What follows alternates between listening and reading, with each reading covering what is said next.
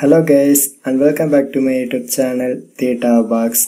So today I try to tap my Windows 10 notification panel but in top it shows the notification message and the message is Microsoft account problem. We need to fix your Microsoft account and in bracket it shows your password has probably been changed and select here to fix it in the shared experiences settings.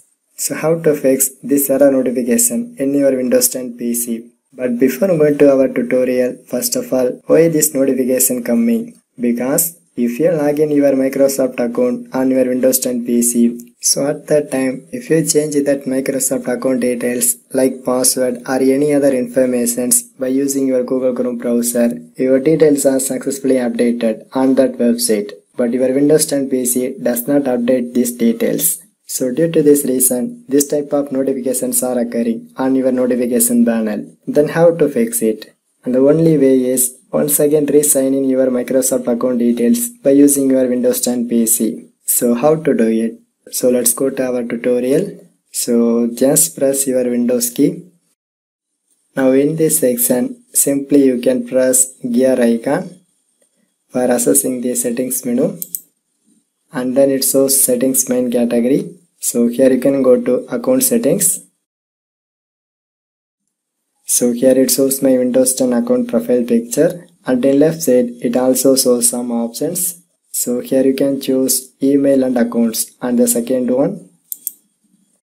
And finally i get to my microsoft email id so just press it and then go to manage section.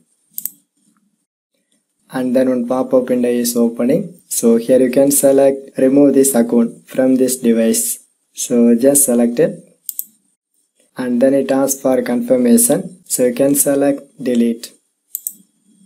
So finally my account is successfully deleted from my windows 10 pc and then press done. Then how to log in the same account? So now in this section you can press add an account option. And it is placed under the email and account section so here you can select outlook.com and the first one. So automatically it restore my microsoft account details. So and then press continue. And then my microsoft account is now ready to use. So once your account is successfully linked with your windows 10 pc so once again i try to tap my notification banner because i try to check it if this error message is again occurring or not so finally here you can see so it does not shows any notification messages and the previous error message is also gone. So this is the way. You can easily fix your microsoft account problems by watching my tutorial. For more tech videos you can subscribe my beautiful tech channel theta box and thanks for watching